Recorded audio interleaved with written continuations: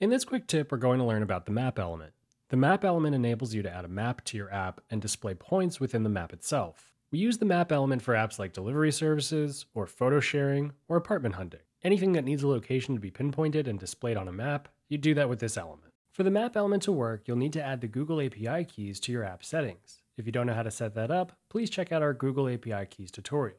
Depending on your app, you can utilize the map element to display a single marker, a list of markers, or none.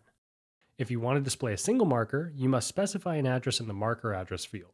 To do this, you can statically type an address, link this to an input, or an entry in the database.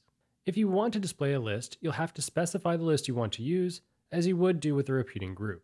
You can also change the visual aspect of your map by changing the map type to be more realistic, as well as changing the style to one of the many available options. Finally, you can control more map-specific settings, or upload your own custom icon for the marker. You can even trigger a workflow when a map marker is clicked. Experiment more with the map element in your app. That's it for this quick tip. For more, be sure to check out bubble.io slash academy.